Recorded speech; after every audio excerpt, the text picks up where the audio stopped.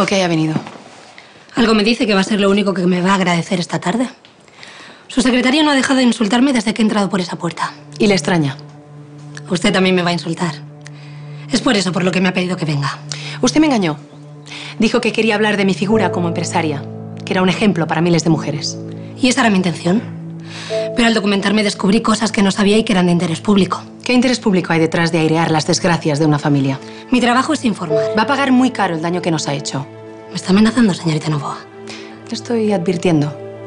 Pienso tomar medidas legales contra su periódico. Pierde el tiempo. No he publicado nada que no sea verdad y que no pueda respaldar con pruebas.